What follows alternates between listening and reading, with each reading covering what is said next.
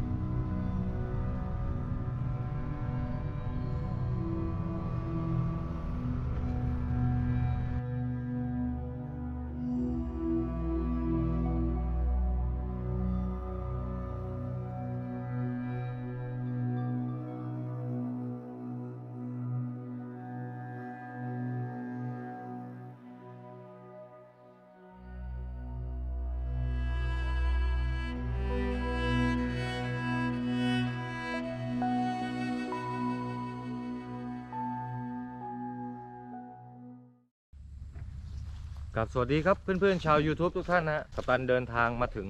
สถานที่เป็นเป้าหมายออกมาสำรวจพื้นที่จังหวัดนครศรีธรรมราช ที่นี่ก็คืออ่างเก็บน้ำกระทูลครับ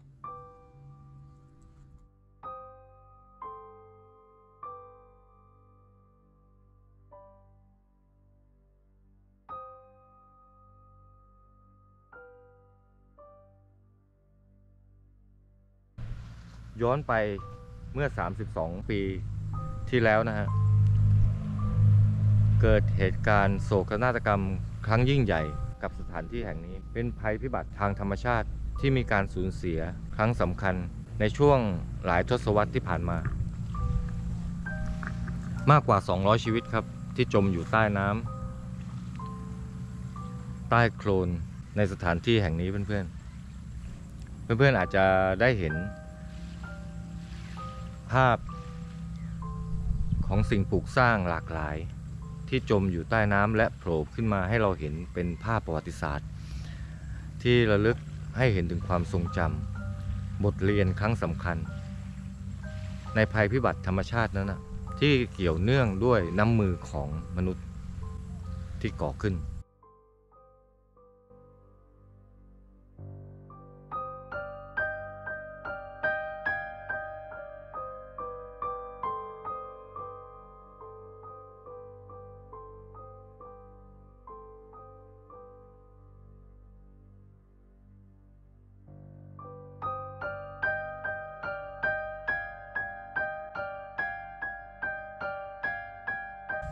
ภารกิจในวันนี้เนี่ยมีความสำคัญเพื่อจะลำลึกให้พวกเราเนี่ยได้เรียนรู้ถึงภัยต่างๆ นานาที่อยู่ใกล้ตัวเรา และสิ่งที่สำคัญที่สุด ก็คือเมื่อยามเกิดภัยพิบัติต่างๆ แล้ว เราคนไทยครับ ไม่เคยทิ้งกัน ไม่เคยที่จะทอดทิ้ง ผู้ที่อยู่เบื้องหลัง เอาไว้อย่างโดดเดี่ยว ไม่ว่าเขาจะเป็นคนในพื้นที่ใด แต่ขอเพียงอาศัยอยู่ในประเทศไทยเหมือนกัน เราก็ยังที่จะยื่นมือหยิบยื่นความช่วยเหลือต่างๆ ให้กับคนที่เปรียบเสมือนเป็นเครือญาติของเรา ก็คือคนไทย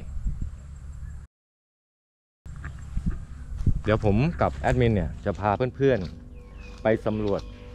พื้นที่โดยรอบของสถานที่แห่งนี้เนี่ยว่า ปัจจุบัน เรายังสามารถที่จะพบเห็น และพบเจอร่องรอยของอาสิ่งที่เกิดขึ้นในอดีตที่ผ่านมามากน้อยเพียงใด ก็ให้เพื่อนๆ ลองไปติดตามรับชมในภารกิจสำคัญของพวกเราในวันนี้ดูครับแอดมินแอดมินนี่นั่งรถมอเตอร์ไซค์มายังง่วงอะหลับมาได้อะก็ยังเพิ่งมาเกี่ยวกับเขาได้ไหมอะได้ได้ได้เอาดูหน้าตามั้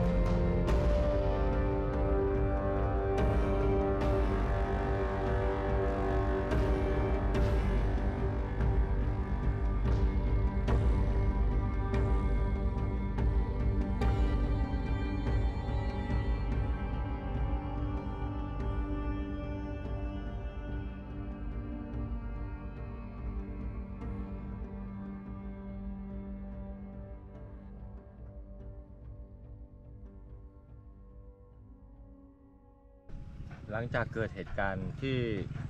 โศกนาฏกรรมในครั้งนั้นแล้วเนี่ยสถานที่แห่งนี้ก็ถูกปรับเปลี่ยนให้กลายเป็นเขื่อน หรืออ่างเก็บน้ำขนาดใหญ่ ตามนโยบายพระราชดำริของในหลวงรัชกาลที่ 9 นะครับ ซึ่งเป็นการทำให้สถานที่แห่งนี้เนี่ยมีประโยชน์ร่วมกัน ซึ่งในอดีตที่ผ่านมาสถานที่แห่งนี้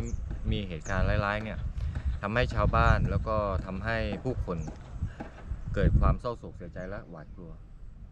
จึงแปลเปลี่ยนสถานที่แห่งนี้เพื่อใช้ในการประโยชน์ของสาธารณะทำให้เป็นสถานที่ที่เย็นลง ในปัจจุบันเนี่ยก็กลายเป็นสวงสวรรค์ของเหล่าบรรดา เด็กๆนะฮะแล้วก็นักตกปลา ใช้ในกิจกรรมทางน้ำต่างๆ แล้วก็รวมถึงรีสอร์ทก็เกิดขึ้น มากพอสมควรนะเพื่อนที่จะทำให้สถานที่แห่งนี้เนี่ยเหมาะแก่การพักผ่อน หากเราตัดความโหดร้ายในอดีตนั้นทิ้งไปได้เนี่ยสถานที่แห่งนี้ก็ถือว่าเป็นสถานที่ท่องเที่ยวที่มีชื่อแห่งหนึ่งนะฮะที่ขึ้นชื่อว่าสวิตเซอร์แลนด์ประเทศไทยเขาขนานนามไว้นะฮะถือว่าสุดยอดและสวยงามจริงๆนะเพื่อนผมรู้สึกว่า ทุกอย่างได้แปลเปลี่ยนจากในอดีตที่ผ่านมาที่เราเคยดูข่าว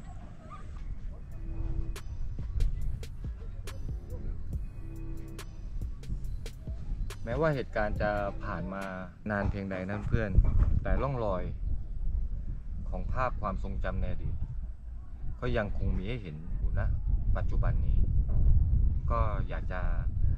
นำภาพต่างๆ เหล่านี้มาย้ำเตือนให้กับเพื่อนๆระลึกถึงสิ่งที่เคยเกิดขึ้นในอดีต ภาพควรที่ควรจำในการระมัดระวังในการใช้ชีวิต สิ่งต่างๆ เหล่านี้ เราไม่สามารถที่จะคอนโทรลหรือว่าล่วงรู้เหตุการณ์ในอนาคตได้ แต่เรา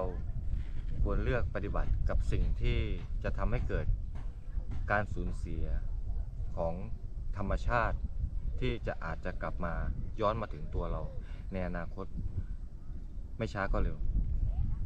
ขอให้เพื่อนๆดำเนินชีวิตด้วยความไม่ประมาทหมั่นทำในสิ่งที่ดี ไม่ว่าจะเป็นของตัวเราเอง ครอบครัว หรือแม้เพียง รรมชาติที่อยู่รอบตัวเรา นั่นคือประโยชน์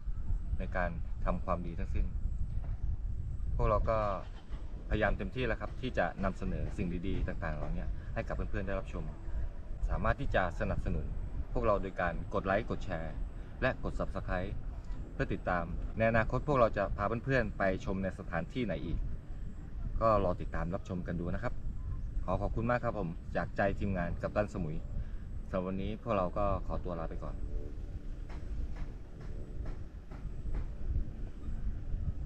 เจอกันใหม่คลิปหน้าครับผม สวัสดีครับ วันนี้แอดมินไม่ทำงานเลยแอดมินอู้มาก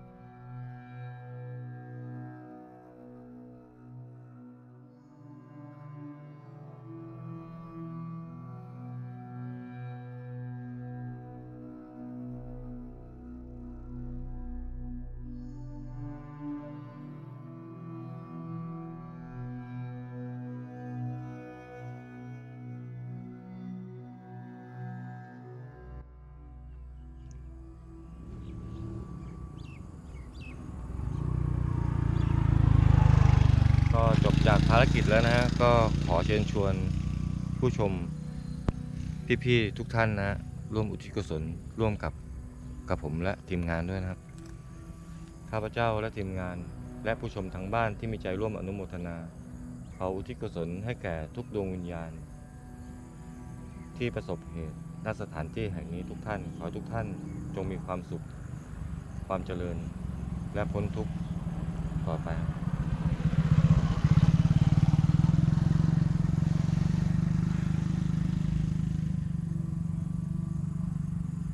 หดหูนะ แต่ ว่า สิ่งใดที่เคยเกิดขึ้นไปแล้วเนี่ย ก็ขอให้เป็นบทเรียนกับคนรุ่นหลังต่อไป